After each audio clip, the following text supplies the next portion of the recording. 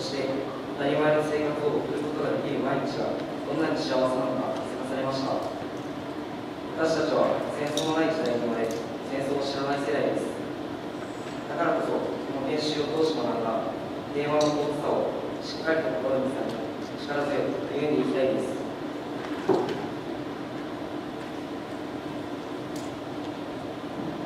私たちの世代から戦争をよく知る人たちがいなくなりつつあります。ちは体験していないからこそ戦争について学び伝えていかなければなりません。今の私が平和の大切さを世界に訴えることは難しいですが今回学んだことを周りの人たちに伝えることができます。できることは小さくても一歩一歩平和へと歩んでいこうと思います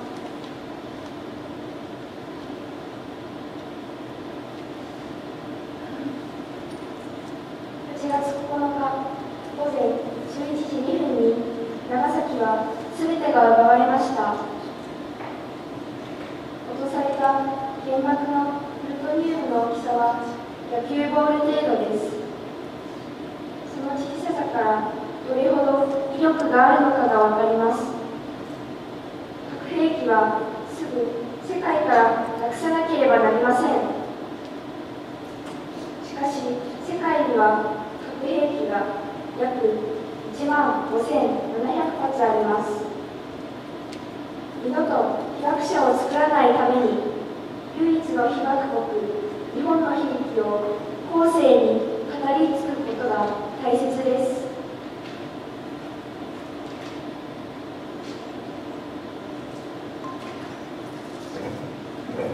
今伝えたいことは原爆の恐ろしさと原爆のことをいつまでも覚えてほしいということです。僕たち中学2年生はまだ14歳ですが4年も経てば選挙に行くことができます僕たちができることはこうしたメッセージから郡山市をはじめできるだけ広く平和について伝えていくことだと思います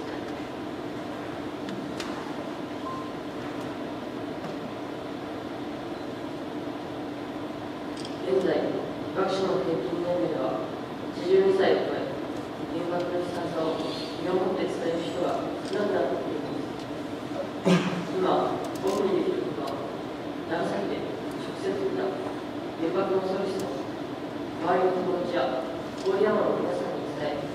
もう二度と原爆の悲劇を起こしてはいけないと強く訴えることだと思います。そして、平和への思いを多くの人と共有していきたいと思います。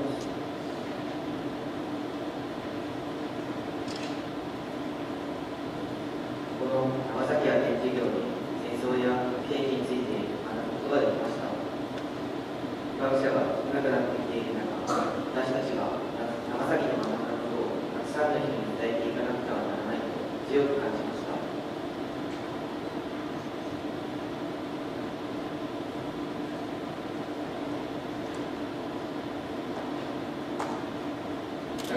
原爆が落とされて一瞬にして多くの命が奪われました。また放射能の影響で多くの人がその後も原爆症で苦しみ続けました。原爆死没者名簿搭載搭載者数は17万9226人です。しかし世界中にある核兵器は2017年現在で約1万4900発もあります。二度と同じことが起こらないように長崎の山頂をこれからも伝え続けなければいけないと思います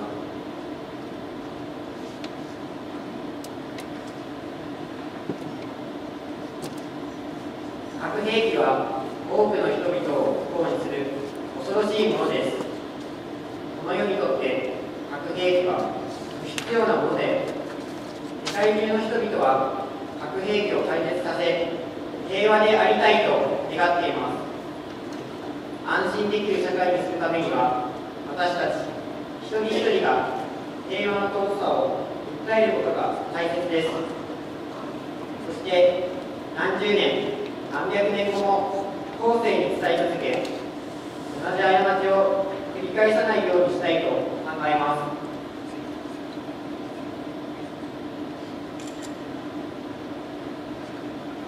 今回の長崎派遣で実際に原爆に関する資料を見たり被爆者の方のお話を聞いたりして平和の大切さや命の尊さ核兵器廃絶の必要性を感じましただからこそもう二度と戦争を繰り返してはいけないと強く思いました戦争の悲惨さを忘れないように戦争について考え次の世代へこの事実を語り継いでいくことが大切だと思います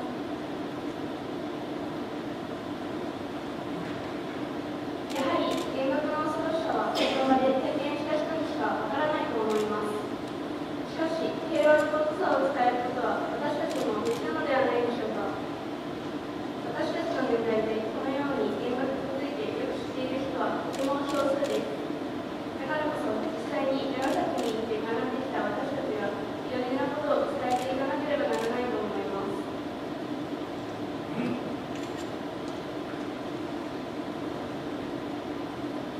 今も原子爆弾で苦しんでいる人がいます原子爆弾は一瞬でたくさんの尊い命を奪いました原子爆弾により失ったものはもう二度と取り戻すことはできません私たちにできることは次の世代に戦争や原爆の恐ろしさ辛さを伝えることにより考えてもらうことで核兵器廃絶を訴え二度とこのような過ちが繰り返されないように平和を願います。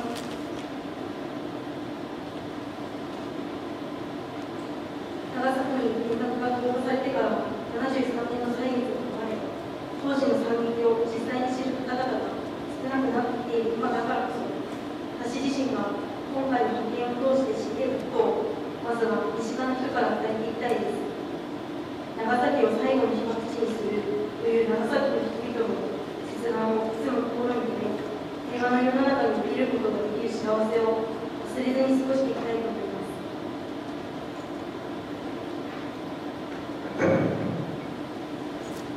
私たちができることは戦争を次の世代に伝えることだと思います戦争経験者の高齢化が進んでいるのが現状ですだからこそ私たちが戦争についての正しい知識を得てそれを戦争を知らない次の世代に伝えることが私たちの役割だと思いますそしてみんなが戦争について自分の考えを持つことが必要だと考えます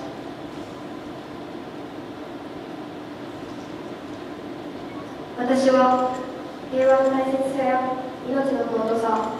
原子爆弾と戦争の恐ろしさや悲惨さをこの研修で学びました。唯一の被爆国である日本に住む一人として学んできたことを友達や家族など多くの人に思いを形にし精一杯伝えていきたいと思います。また生きていることが当たり前だとは思わず一つしかない命を大切に毎日が有利なものになるようにしっかりと歩ん歩んでいこうと思います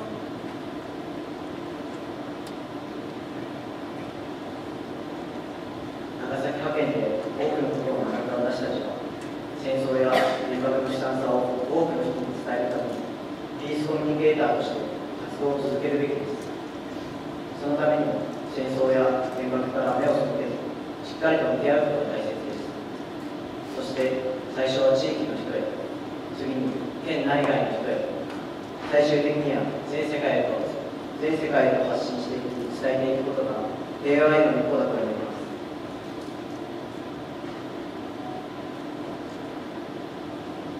今回の青少年ピースフォーラムでは自ら被害者の立場に考えて考えてみたり73年前と今の状況を考えてみたりどのようにすれば兵器がなくなるか戦争がなくなるかを必死で考えましたその結果自分たちだけが訴えるのではなく自分たちから次の代また次の代へとつなげていつまでもこの思いを絶やさないということが大切だと思いますた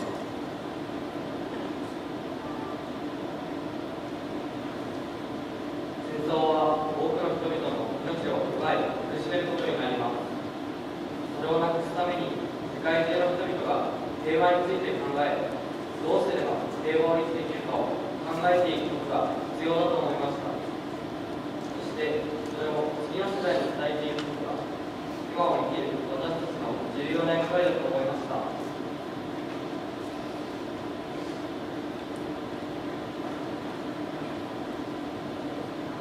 私はこの派遣研修を通して核兵器の恐ろしさを肌で感じることができました。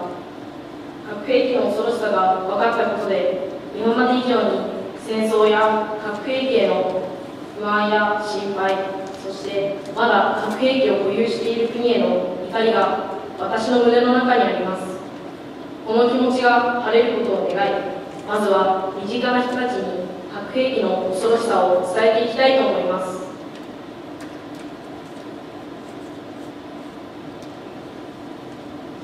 今まで私は戦争は怖いからその話に触れたくないと思っていました。しかしこの派遣に参加して戦争は怖いから嫌だという考えよりも戦争の悲惨さをみんなに伝えて平和な未来を作りたいという気持ちの方が強くなりました。私は戦争は怖いから嫌だではなくこの悲惨さを未来に伝えることが大切だということをみんなに伝えていきたいです。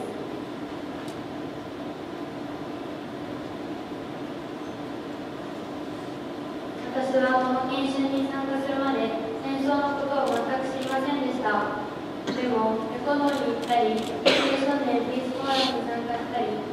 平和記念式典に参列したりして戦争のことや原子爆弾核兵器のこと被爆者の思いなどたくさんのことを学ぶことができました今の世の中は平和に思えますが被爆者やそのご遺族の方々が背負った心の傷が癒えることはないと思います今回学んだことや実際に聞いたお話などを周りの人たちに伝えていきたいです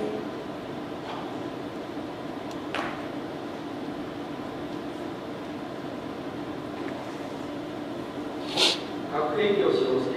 解決できることはありません原子爆弾破壊と深い傷しか残せません私たちが核兵器の悲惨さを語ることはとても難しいことです。手段を工夫して事実を発信していくことができます。平和を祈り願い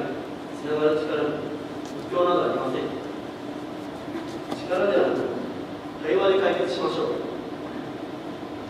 核兵器解決と世界恒久平和の確立を叶えましょう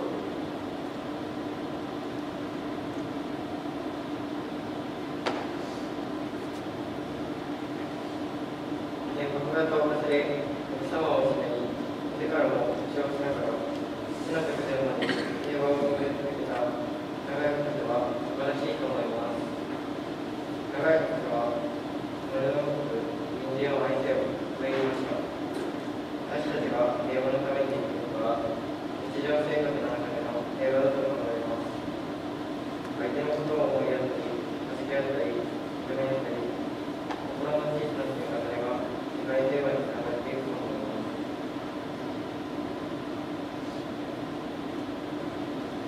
す。私は戦争は二度と起こしてきました。そして私たちにできることは何かと考えました？私が思うにたくさんの人に戦争や原子爆弾の恐ろしさを知ってもらうことが大事だと思います。現在被爆者の方々の平均年齢は80代であり原爆について聞ける機会が少なくなってきました。そこで今生きている私たちが一人でも多くの人に被爆者被爆者から聞いたお話や戦争の愚かさを伝えることが大事だと思います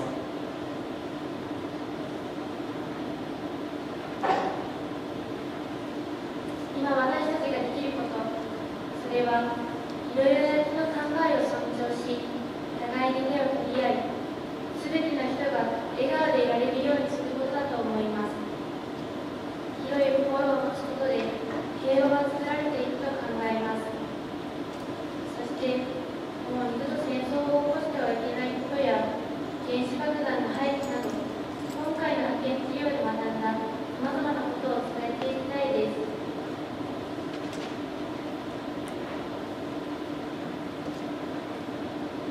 人の命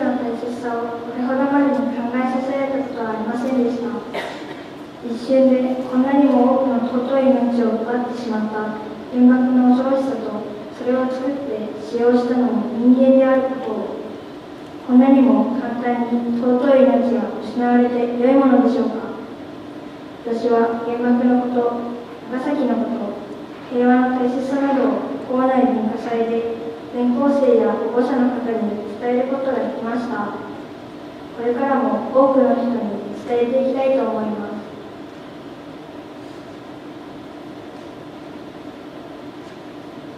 今まで私が知っていた原爆のことそれは表面的なものでした今回の研修で被爆された方のお話体験を聞き原爆の恐ろしさを学びました。もうこういう体験をする人が二度と出ないようにする。これが被爆された方たちの願いでした。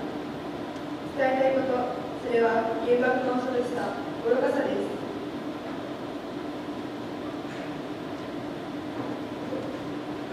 1945年昭和20年8月9日午前11時2分に長崎に原子爆弾が投下されたことを日本人として忘れてはいけません。被爆者の方の世界最後の被爆地を長崎にという言葉に込められた永久平和と核兵器廃絶への強い思いを知り私たちにできることは一人一人が核兵器についてもっと確かな知識を持ち他人事だと思わないことそして戦争や核兵器の悲惨さを多くの人に伝え続けることだと思いました。以上で平成30年度郡山市中学生長崎派遣事業の研修報告を終わります。長崎派遣事業のためにご支援くださった皆様そして送り出してくれた家族に感謝します。ありがとうございました。